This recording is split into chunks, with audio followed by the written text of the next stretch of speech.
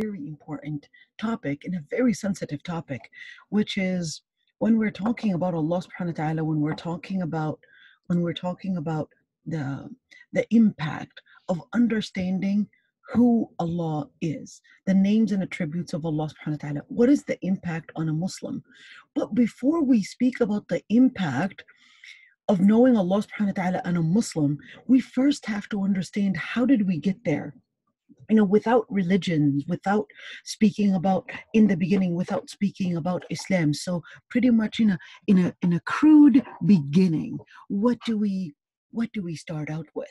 So man in order to recognize who Allah subhanahu wa ta'ala is, they first start out with recognizing themselves. As a child, when they grow, the first thing that they recognize is that I'm here. What am I doing here?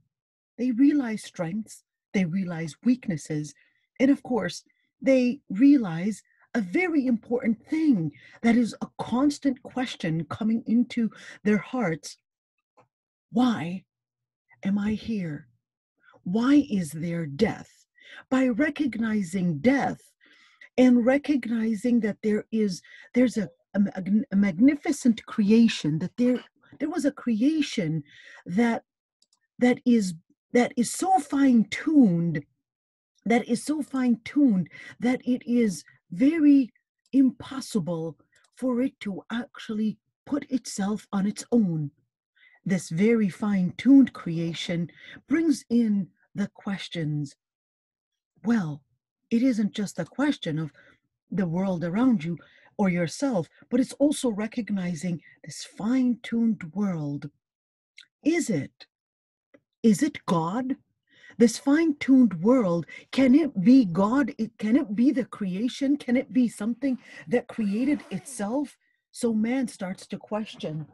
We'll start realizing, and we even see that historically, how man started using different things that they had found around the world even though indeed in islam we would recognize that tawheed was in the beginning but then then people started finding or making up ways in order to cl- get close to God Almighty by making materialistic things, which they had attributed to Allah subhanahu wa ta'ala.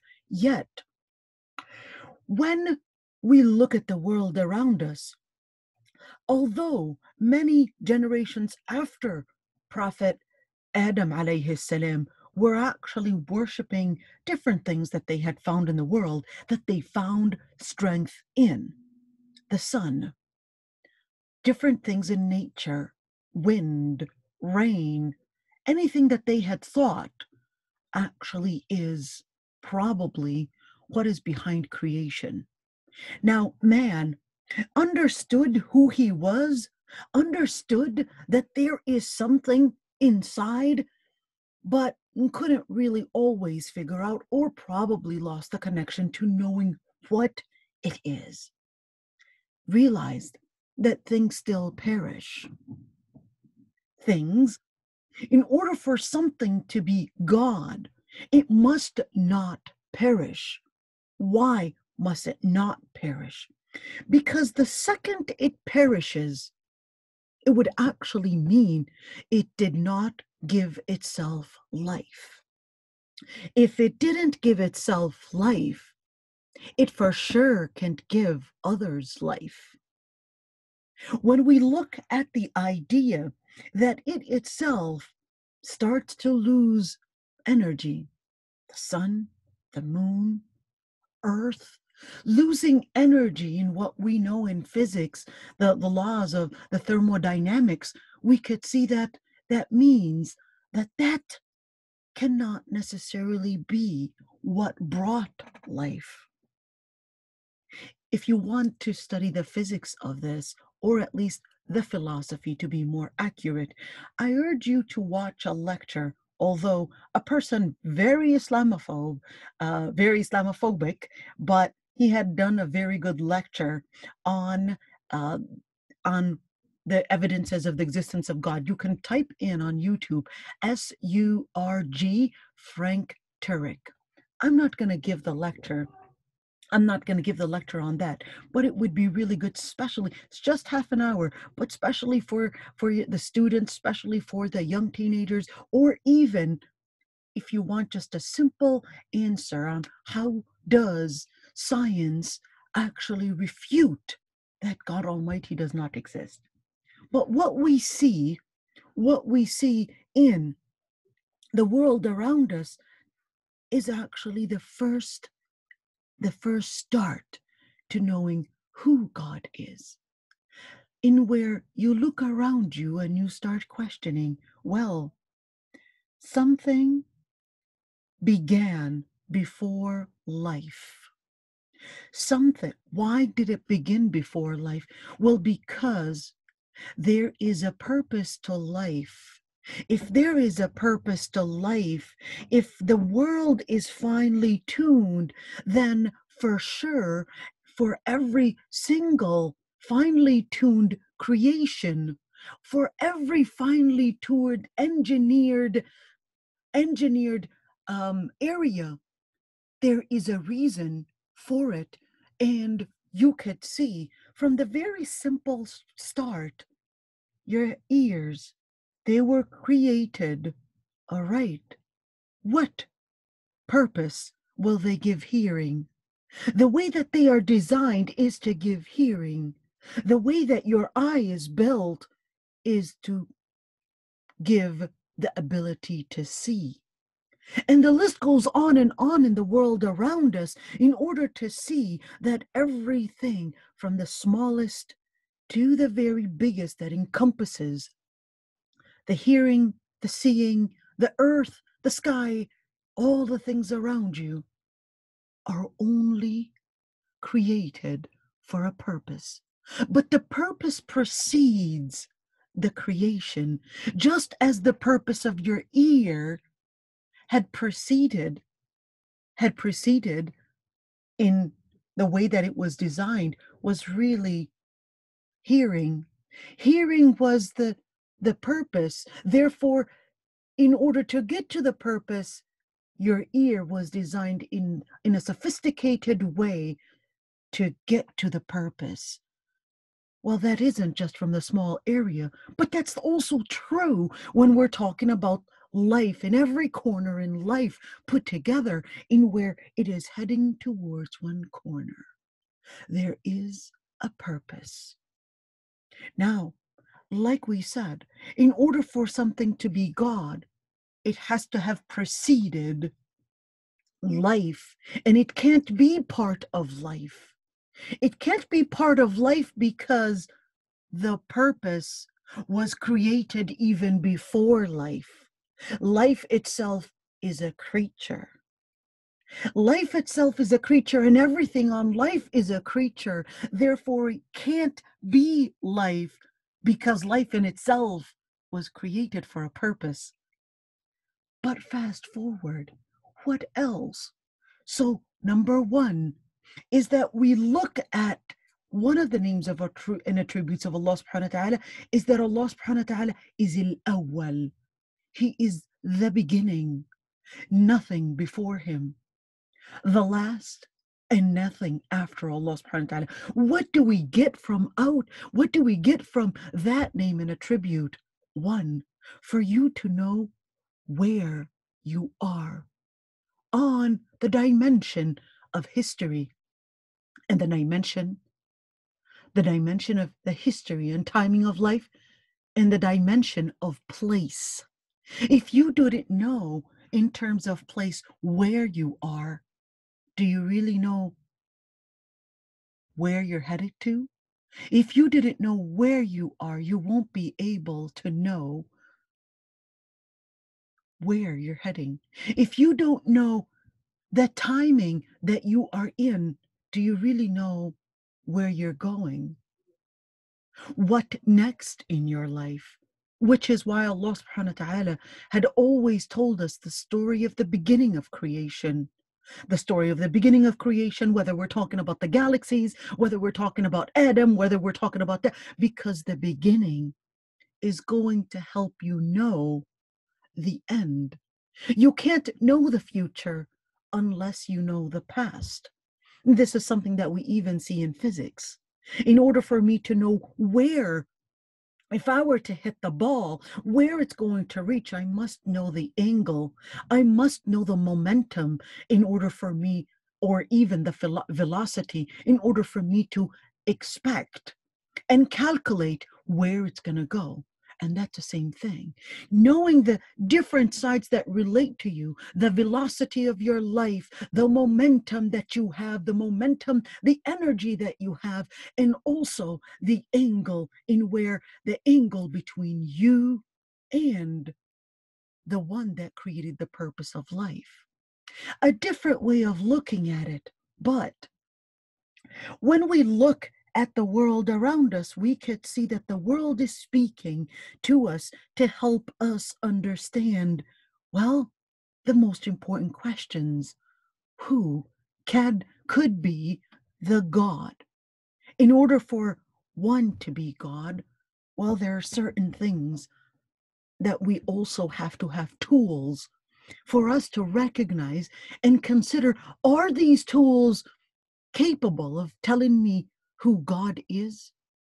So the story Allah subhanahu wa ta'ala tells us begins وَإِذْ قَالَ رَبُّكَ لِلْمَلَائِكَةِ The story begins when Allah subhanahu wa ta'ala was telling the angels at that moment the angels did not of course have the intellect at that moment the angels were clueless when Allah subhanahu wa ta'ala told them that he was going to create another creature a creature, well, they had previous knowledge of another creature causing bloodshed. If it's bloodshed, well, surely it's not the jinn, but it's another one. That's another topic. But let Adam know. Adam is also you and I. I'm not saying that Adam alayhi salam is a mythical creature or a mythical uh, character, but this is also us here letting us know if it's talking about Adam, it's telling you also what Allah subhanahu wa ta'ala let Adam know of his strengths and weaknesses. The strength, علم آدم الأسماء كلها, taught Adam the names of things. The strength is intellect. You have the intellect that even the malaika don't have because the malaika themselves, they admitted they just said, قالوا سبحانك لا علم لنا إلا ما علمتنا. All praise be to you. We don't know unless you teach us. But showed the malaika that this creature has the intellect to turn to me, but not necessarily is that enough. So here, Allah subhanahu wa ta'ala then tells Adam, well, there are certain weaknesses. What is that weakness? Well, that weakness is basically a creature called Iblis who may use your intellect in a way to deceive and manipulate you to think your intellect is strong. In other words, your intellect is not necessarily the tool to trust fully as the tool for you to know your Lord Almighty. But there's another tool, and that tool, and that tool is basically in continuing the story where Allah subhanahu wa ta'ala actually tells them that فَتَلَقَّى آدَمُ مِنْ رَبِّهِ That tool is basically the tool of wahi, the tool of guidance, a message from the Lord Almighty to help man know who their Lord is because their own tool of intellect may sometimes may sometimes manipulate them. What is the tool? You've got another tool. And that tool is the tool of fitra. What is the tool of fitra? Well the tool of fitra is basically the instinct. What does it mean the instinct? The instinct means that you understand by knowing about yourself, that you understand who and why you were created, but you also you also use that fitra often as a wake-up call to help you listen to yourself and listen to the nature around you that is speaking in the utmost, strongest words. What is afterlife? Take a moment to think about what is afterlife. The silence that we could see in the dead is probably the loudest voice that man can hear. How can silence be loud? A very contradictory word, but in its rea- in its reality, it is very loud. When it's speaking, yet speaking only one word, but in silence. Speaking in silence, how could that be? Well, just the silence of death. The person was and is not anymore. The person was around us, but can't even speak, which is exactly what Qis ibn al-Iyadi, one of those Ahnaf that lived during the time of the Prophet he was just trying to actually before him by just a little bit he just he just used to look around and just say Ayyuhannas, ismahu wa'u, oh people listen and comprehend. Comprehend what? And then he says comprehend the world around you. With what? Look at the world ismahu wa'u. Innahu man Take a moment to reflect. Whoever lives. إنه من عاش مات. Whoever lives will die. We know that as a fact because we could we were able to see the pattern many, many, many times. And we could see that it's speaking. So let's comprehend deeply. إنه من عاش مات ومن مات فات وكل ما هو آت آت. Every single person that perishes, we had seen the pattern. They're gone. ومن مات فات and when they're gone they never come back وكل ما هو آت آت because I could see that there's a pattern in where when they perish for sure there was a purpose one day we could see that there are new people new generations being born and dying it continues in this cycle but what is the purpose the cycle of people dying, another creation coming in, and another generation. But what we could see is a pattern that lives around us. Laylun Daj. Well, let's look at the pattern. You could see that there is the dark night, Naharun Saj, bright daylight after night comes in the light. وسماء ذات أبراج and we could see in the skies that there is a pattern. The pattern in where we start out in a certain in a certain design in space in the skies that moves and it comes back. There's a pattern. That pattern is speaking to us that everything in the world follows a specific pattern and is not created in absurdity.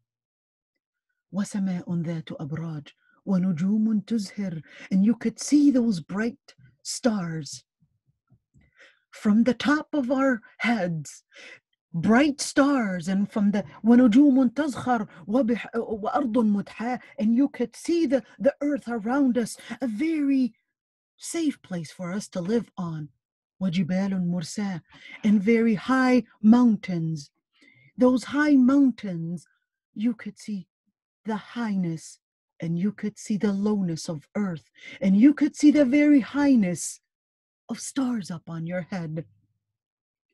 But then he says, يا معشر إياد أين الآباء والأجداد? This is his fitra speaking. This is now his instinct. He doesn't have a revelation. He was actually before the Prophet ﷺ but he was speaking in his own instinct, in where he was talking to his, his tribe. يا معشر إياد, O people of Iyad, أين الآباء والأجداد? Where are our forefathers and our grandfathers? وأين الفراعنة الشداد? And where are the pharaohs the strong pharaohs, their civilization, the civilization that they had built with all the, the knowledge and all the tools and all the science, where did they go? That death. The death part was becoming the strongest sound that he was hearing by looking at the pattern.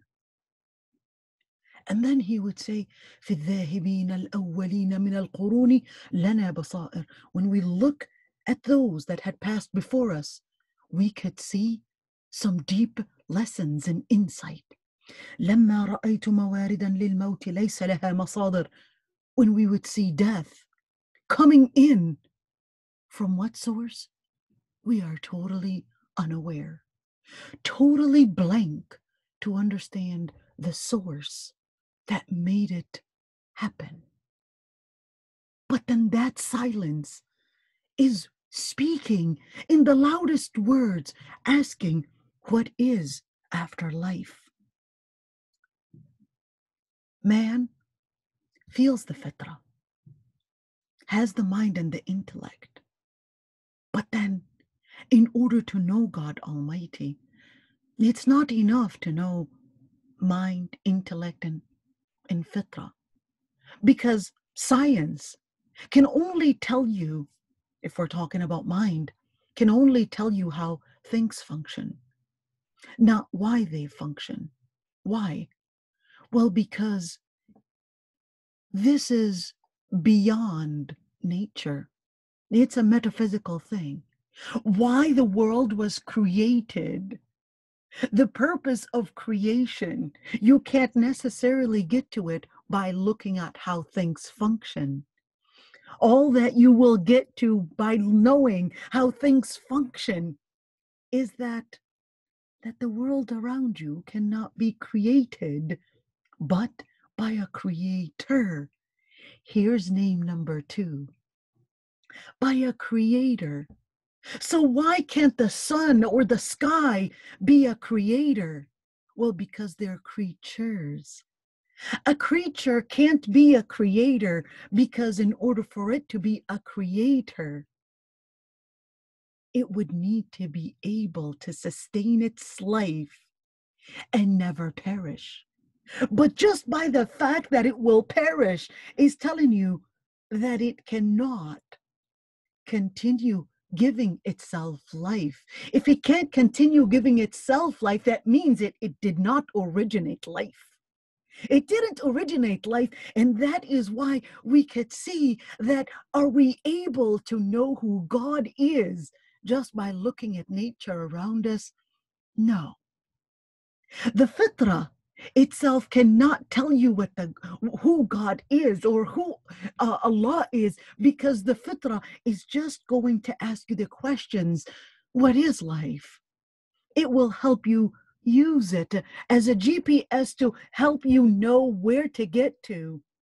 But that itself is not enough which is why the previous nations the previous nations they got to the beginning of it previous nations, many of them, they got to the beginning that there is something behind this creation, but then their intellect easily manipulated them. They started worshiping creation itself, not knowing that it itself perishes, or at least, if it depends on others, then it sustains to have founded itself. Because if it founded others, then it would have created a way to sustain itself without depending on others. So that's why Allah subhanahu wa ta'ala actually said, talks about the people that they would, that most people, what they depend on is speculation. وما تهوى الأنفس وما تهوى الأنفس and they would depend on their own on their own inclinations on their own pleasures ولقد جاءهم من ربهم الهدى and their Lord Almighty had sent them guidance in another ayah, Allah subhanahu wa ta'ala tells us that the, the lords that they had created, the gods that they had or the things that ha- that they had attributed to having a divine a divine nature allah subhanahu wa ta'ala tells us that well look at them they're just names that you yourself had created that you yourself had created in here إلا أسماء سميتموها أنتم وآباؤكم they're just names that you had created that you had invented ما أنزل الله بها من سلطان in the end that Allah subhanahu wa ta'ala did not even bring you any evidence or confirmation that this really is God.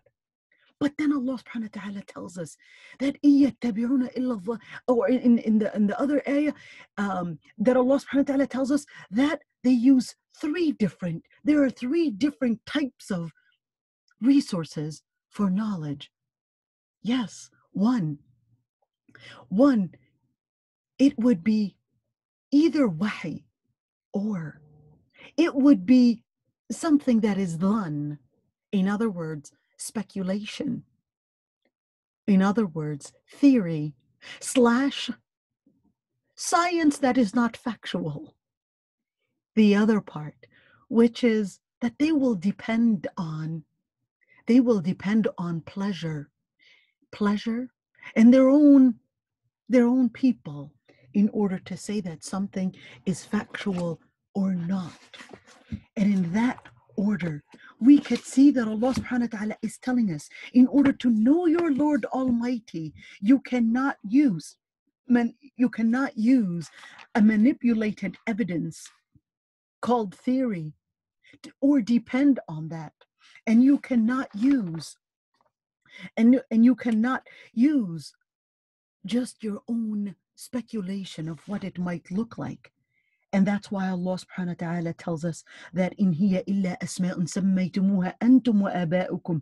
Ma anzal Allah biha min sultan. Yattabi'una illa dhann. Wa ma tahwa al-anfus. Wa laqad jahum min rabbihim al-huda. Making it easy for you. Instead of taking all those philosophy classes and going in all those philosophy classes Allah subhanahu wa ta'ala is making it easy. Then in order for you to know God in order for you know to, to know the world in order for you, for you to know the purpose of life that you need one very important tool. Make sure you don't depend on speculation or your own your own inclinations. But in the end, but they got a revelation from their Lord Almighty.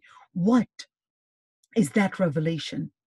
The revelation, the Prophet ﷺ tells us about Ayat al-Kursi that ayat al-kursi acts as the most one of the most important ayat in order to explain to us in order to explain to us about God and Allah Almighty. Allah here is the beginning. Allah. The word Allah means the God.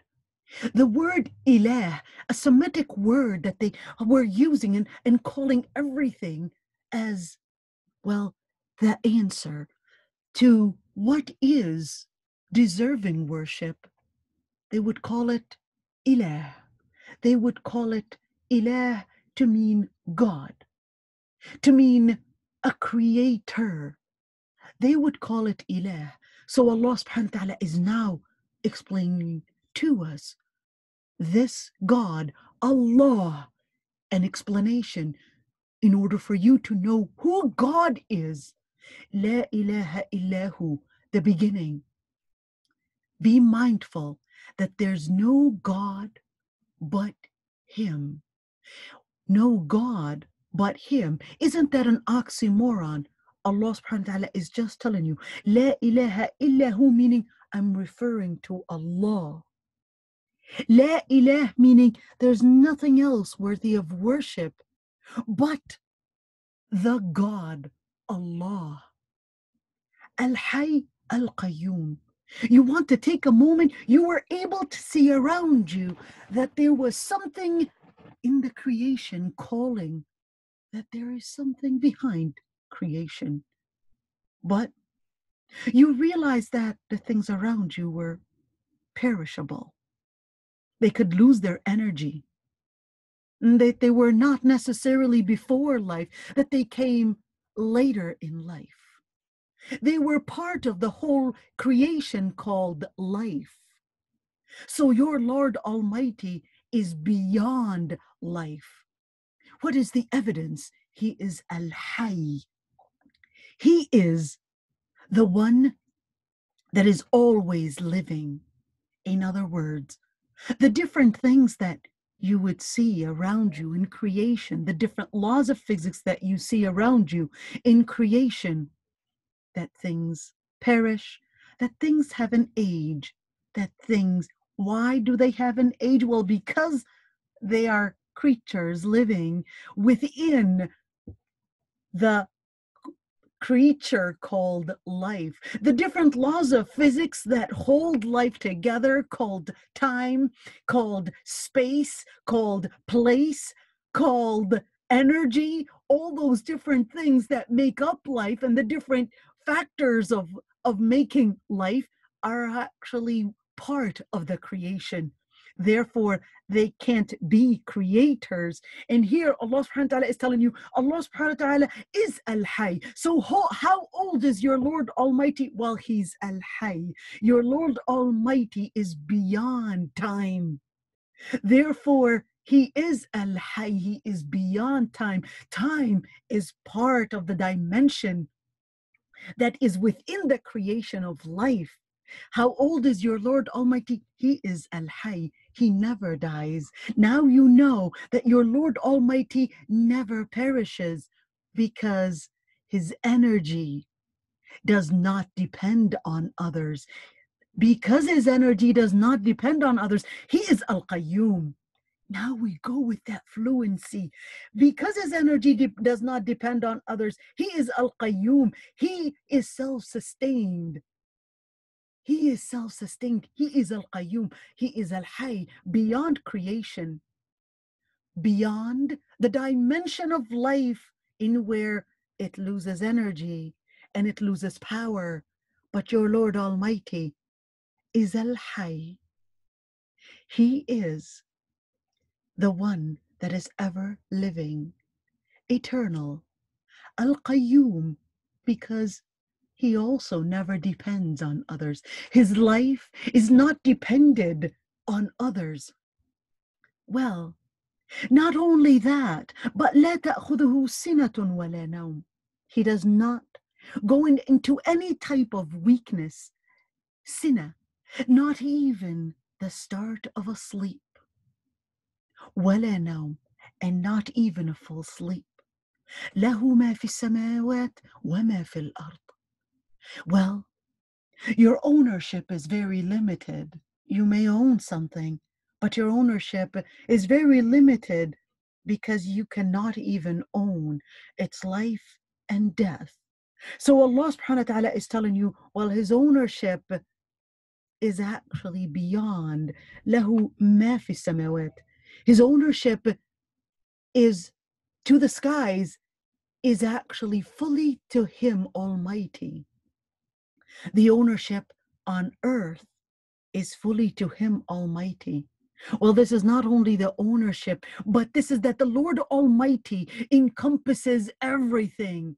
That the Lord Almighty, everything is within His control. You, son of Adam, have a very limited control over things, meaning what? You can't even control fully your life and death. Therefore, your weakness is now transparent to you. It is so clear to you that even your life and death you don't control.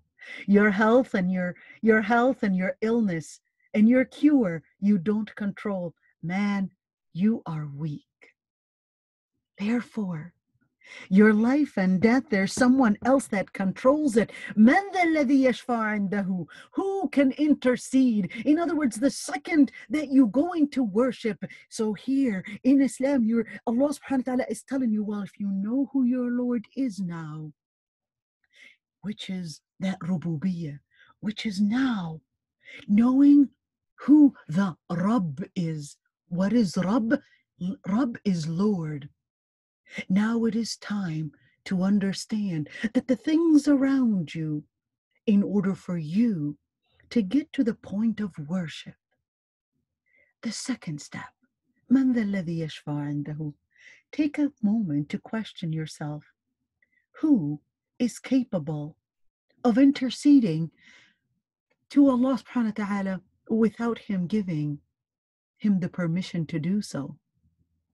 During that moment, Allah subhanahu wa ta'ala is telling you that if you would want to consider X or Y or Z, the dead, the those those um, creatures, the different things that they are our path, they are our Lord, they can be those connections between us and God Almighty. Allah subhanahu wa ta'ala is telling you, nobody can intercede to the Lord Almighty unless He gives them the permission to do so. Well, the Lord Almighty يعلم ما بين أيديهم وما خلفهم. Well, for the Lord, not only is He, not only is He ever living and sustaining Himself, but He also has the full knowledge that encompasses your past and your future. يعلم ما بين أيديهم, your future, وما خلفهم, and the things that pass. In other words, how is it that God Almighty knows the past and the future? Because time does not encompass God Almighty. Time does not encompass God Almighty, but it encompasses you. And that is why you can't know the future because you are in the dimension of time. You're not going to be able to surpass the physics that was created in this world, and you can't pass it. But Allah subhanahu wa ta'ala is actually the founder of time. Therefore, future and, and the future and history and the past is all like a mirror. It is all clear and transparent to Allah subhanahu wa ta'ala. He knows the future just as much as he knows the past because Allah subhanahu wa ta'ala is not encompassed by time because time is a creature. It is created. And here, وَلَا يُحِيطُونَ بِشَيْءٍ مِّنْ عِلْمِهِ And nobody is able to encompass anything of what he had taught, the knowledge that he has, إِلَّا بِمَا شَاء Unless he would give you that limited knowledge, إِلَّا بِمَا شَاء Whatever he wills. Why? Because of place وسع كرسيه السماوات والأرض look at this Allah subhanahu wa ta'ala is taking us the beginning of life the beginning of life and how the beginning of life and it was actually a creature and how Allah subhanahu wa ta'ala is beyond the beginning of life and Allah subhanahu wa ta'ala is the maker of life and then he takes you into well realizing the ownership and what put life together and then takes you into time takes you into time that Allah subhanahu wa ta'ala is beyond time and then takes you into understanding the place. In fact, the place of your Lord Almighty, just his throne is actually beyond. It is beyond even just the Lord Almighty's throne. It is beyond السماوات والأرض the skies and the earth in order to encompass a place of anything.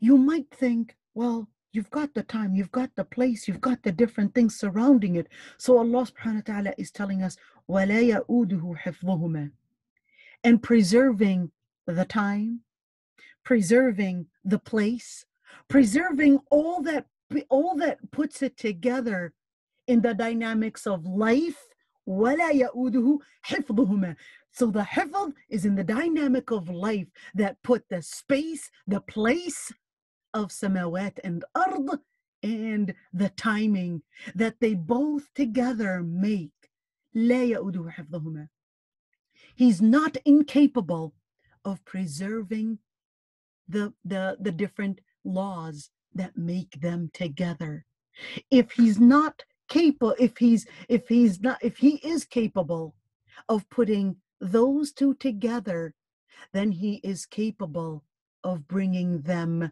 in separation. And he is capable in putting these two together in making life.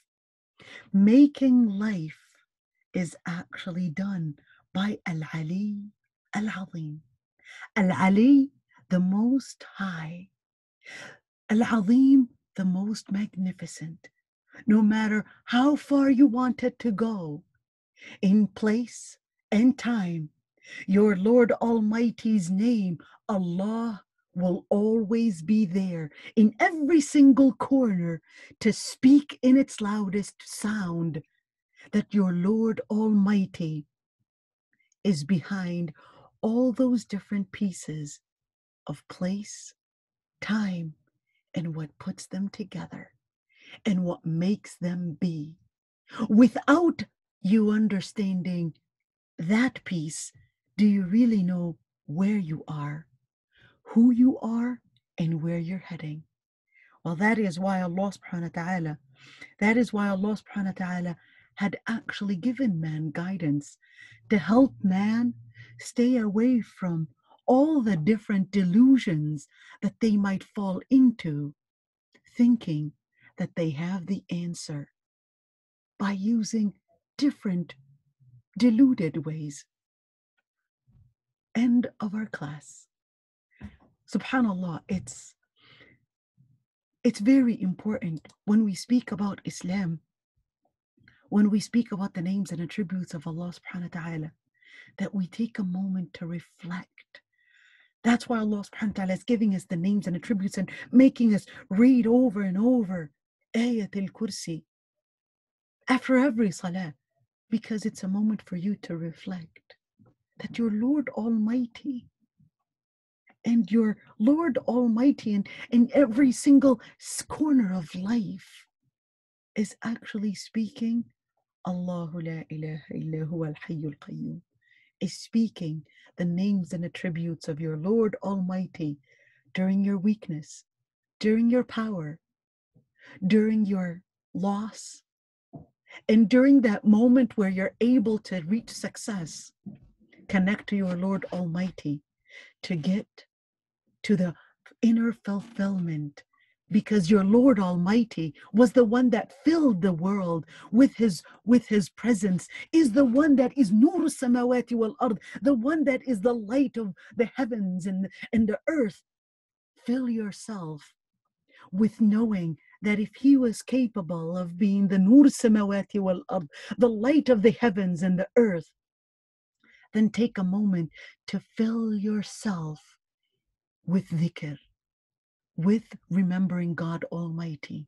Allahu la ilaha illa huwa al hayyul qayyum. Read it on and on in order to let that light fill in your heart and fill you with His presence. Assalamu alaikum wa rahmatullahi wa barakatuh. I'll be happy to answer any questions.